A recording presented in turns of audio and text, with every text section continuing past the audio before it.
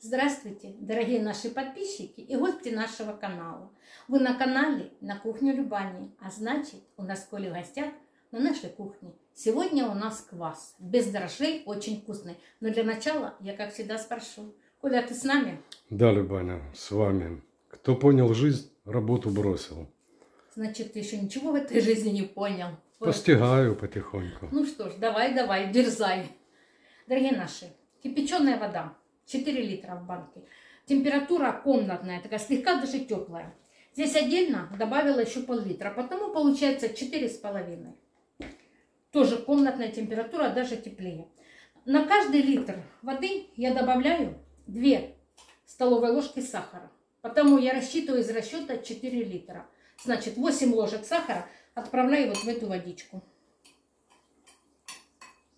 Можете взять меньше. Кто не любит сильно сладкий, можете взять одну столовую ложку. Тоже будет вкусно. Но я делаю такой, чтобы сладенький. Хорошенько венчиком это все перемешаем, чтобы растворить сахар. Может, ты все-таки признаешься, что это ты будешь готовить? Это у нас будет квас.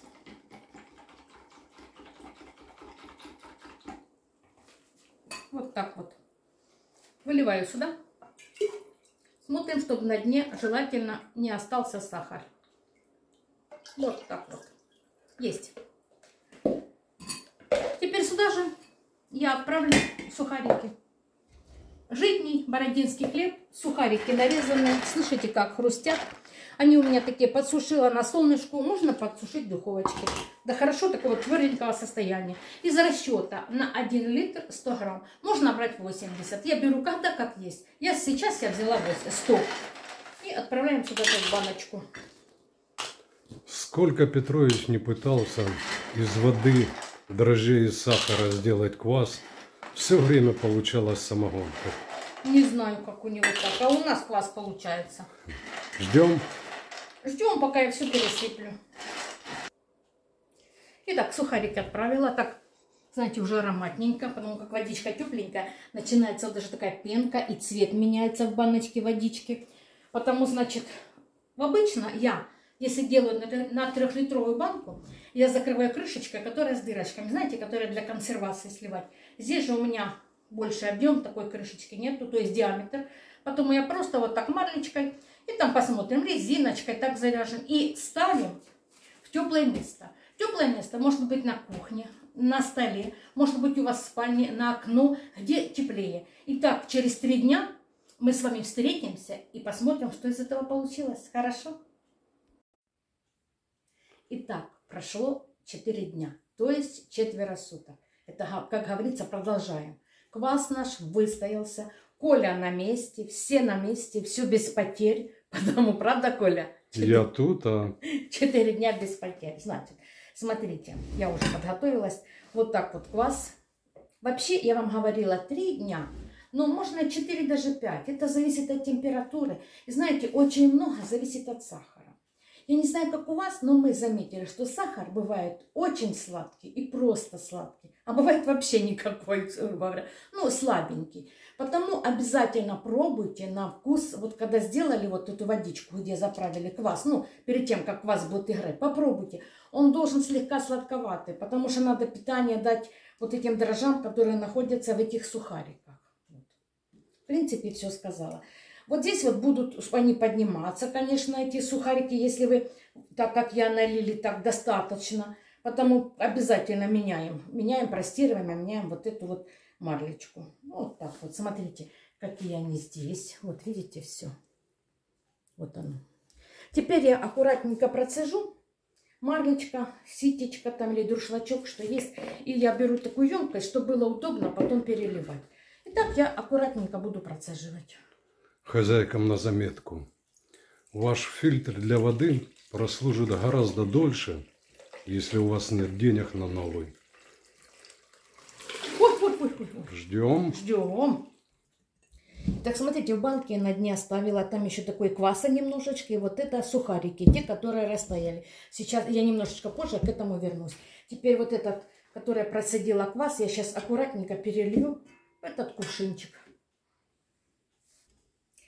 Итак, квас налила, перелила, то есть, ну, не весь там еще остался. Баночку возьму, баночку, бутылочки. Вот теперь я его надо. Ой, как так. Конечно, он должен быть охлажденным, понятное дело. Ну, вот такой вот в стакане не видно. Вот такой вот квас, Коля внутри. Видно, что там. Что это Ну, квас? короче, вкусный квас, дорогие мои. Сейчас попробую. Я уже пробовала. Я уже его каждый день пробовала, чтобы был вкусный. Значит, вкусный, только не охлажденный. Обязательно охладите. А для этого, знаете, еще мне говорили, и я так, в принципе, сделаю. Писали мне совет. Значит, разлить по полтора-литровым бутылочкам или литру, ну, может, двухлитровым. Разлить и в каждую бутылочку положить до пяти штучек изюма немытого. Я сейчас найду бутылочки и в холодильник. Только не сильно полные. Наливайте так, чтобы где-то вот так вот хорошенько, не до, как до плечика в бутылке, чтобы было где ему играть, вот эта возможность. Он еще будет в холодильнике продолжать немножечко так, как бродить будто бы. Ну, в принципе, вот это и все. С квасом я вам все сказала. Теперь, вот это ничего не выбрасываю.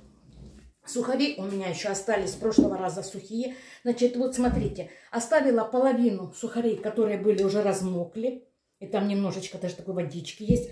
Теперь добавлю, ну, не знаю, так не сильно много, две, ой, ой, ой, две жменьки простых сухариков, те, которые подсушенные. Вот, значит, сюда же теперь я добавлю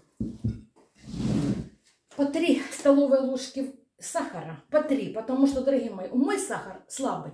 Мне 2 было даже мало. Потому по 3 столовые ложки на литр воды закрою и опять поставлю бродить. Опять мы накрывать будем.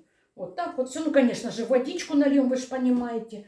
Вот, накрыли. И опять на солнышко. Пока этот квас выпили, этот подойдет. Этот будет уже быстрее бродить. Это точно. Потому что в прошлом году у нас это было намного быстрее.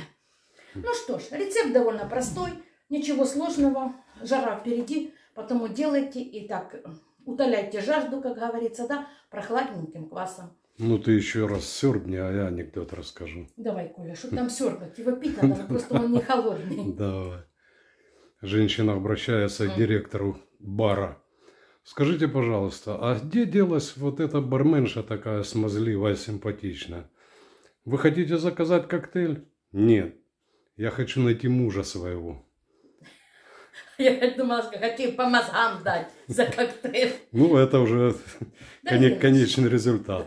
Дорогие наши, в принципе, это нормально, быстро, просто, ну и вкусно, скажу вам вкусно, да. Не магазины, конечно, магазины там еще, ну тут дрожжей, здесь дрожжей нет, просто только те дрожжи, которые присутствуют в сухариках. В принципе, все. Сухарики эти будут у меня лежать, я их опять завяжу, у меня такой мешочек есть из этого, как сказать, он с марлечки вот такой. Я сейчас пересыплю опять и пусть они лежат. Но обязательно, Только если... спрятать надо. Чтобы не поели.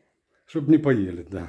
У нас, дорогие мои, у нас не едят сухарики. У нас собачку кормят ими. И вот это, как, как только прозевала, сухариков нет. Она очень Все любит. добрые. Да, она очень любит. Она прям ручку дергает. Как зашли, она сидит и ждет, пока вынесут сухарики.